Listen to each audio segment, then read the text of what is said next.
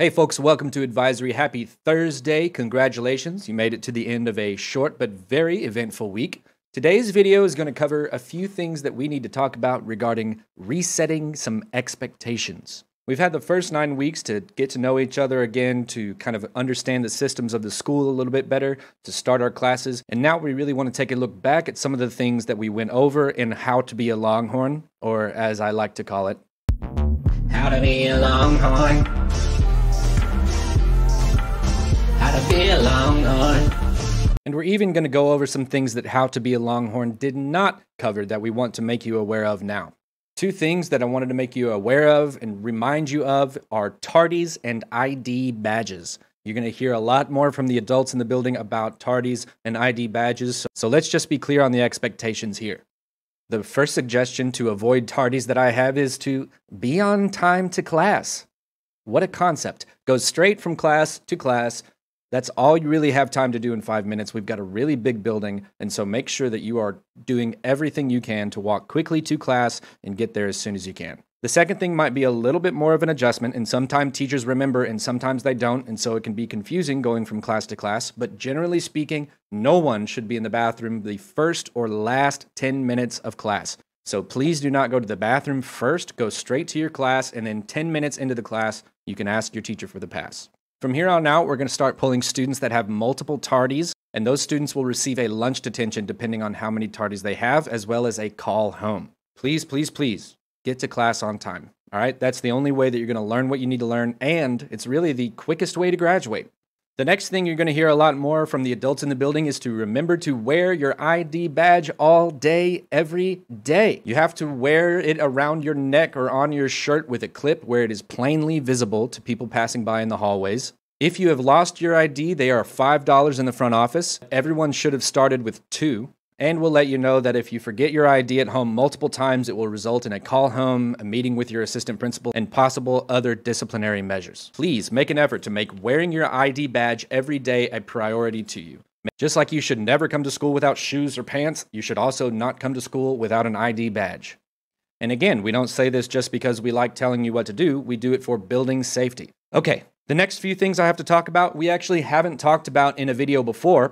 Now, most of you that are watching this video are not doing the things that I'm about to go over. But there have been enough instances of these things happening that we thought it important to tell you what will happen if you choose to make these choices. Specifically, we're going to talk about smoking and vaping in the bathroom, setting fires and pulling fire alarms, fighting and assault, or even threats of assault, and a few more specific reminders about cars that are parked here in the student parking lot. All right, let's get this out of the way. Everybody knows that people go into the bathroom and smoke or vape.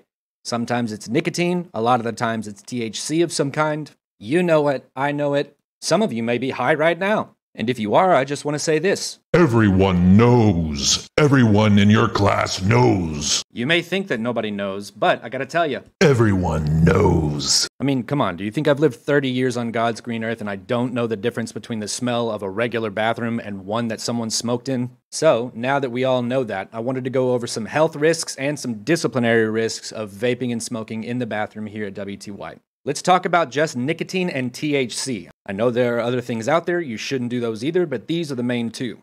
First of all, just nicotine alone is incredibly addictive. I have a few friends that have been addicted to drugs in their time, and they all say without question that cigarettes and nicotine is the hardest thing to quit out of all of them. Regardless of which chemical it is, it could impair the growth of your developing prefrontal cortex. That's right up here, that's the part of the brain that helps you make decisions. Our prefrontal cortexes don't finish developing until we are 25, sometimes longer. Your respiratory system, anywhere from your lungs to your throat, can be irreparably damaged by chemicals and sometimes even metal in smoke and vapor. That's metal in, your, lungs. If you take these chemicals for a long time, especially when you're young and your brain is still developing, it could impair the way that you learn, how your coordination is, how you think, and how you solve problems. It can also lead to difficulty in regulating your own emotions as you develop and as you grow.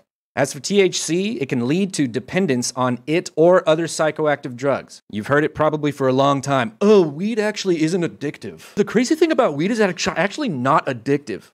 Wrong. First of all, anything can be addictive, okay? You can get addicted to Captain Crunch. Addiction is just a learned behavior that is very difficult to get out of. And so, if you teach your brain to take in THC all the time, then your brain is going to want to latch onto either it or even stronger drugs in the future. THC can also, in some people, lead to permanent mental health damage. And those are just the health effects. If a student is caught vaping or smoking in school, they are subjected to an on campus disciplinary hearing.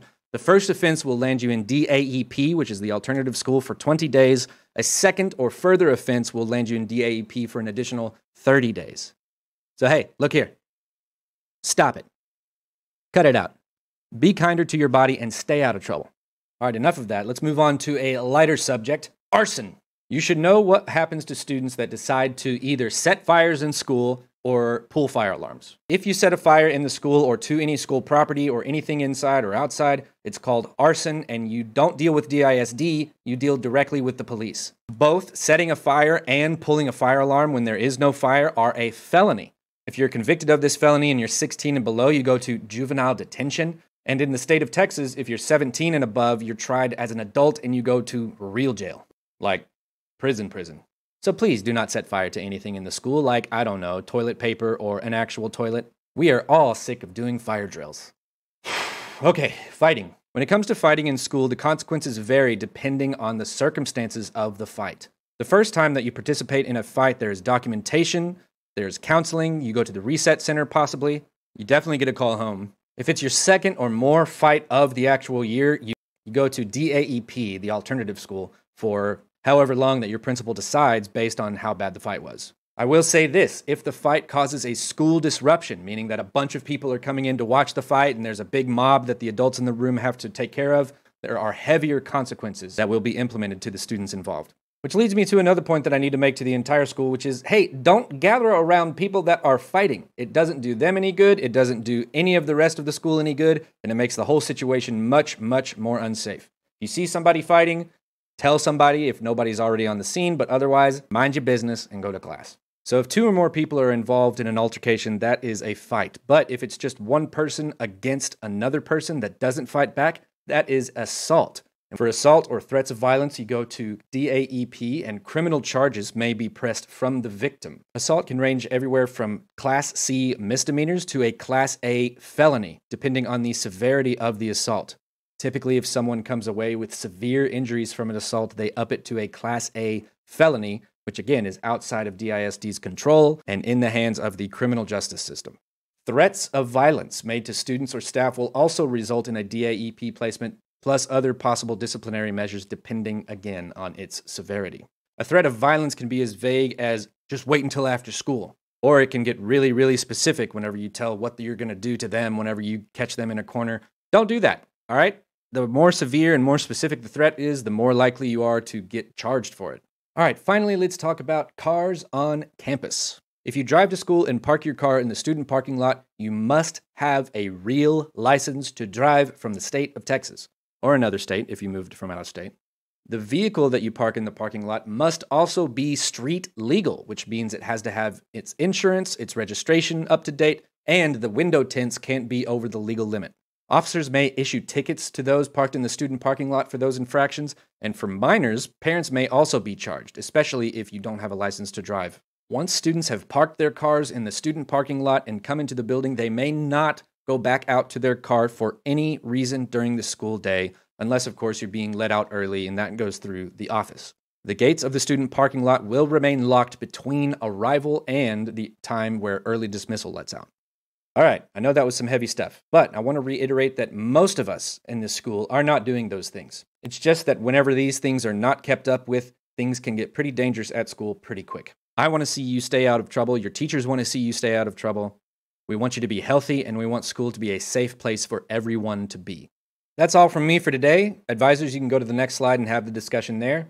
Be good to yourself and others, and I'll see you real soon. Enjoy the long weekend.